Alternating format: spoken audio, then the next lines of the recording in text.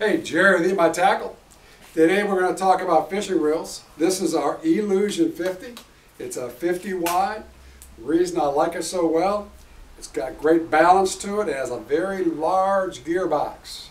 It's 4.1 to 1 on the retrieve, a star adjustable drag, clicker. It's fantastic. And we offer a two-year warranty on these reels. That's how much we believe in them. You can match them up with a 30 to 50 or a uh, 60 to 80 pound boat rod that we sell. They're a great, great combination. They have good balance to them. Catch them up.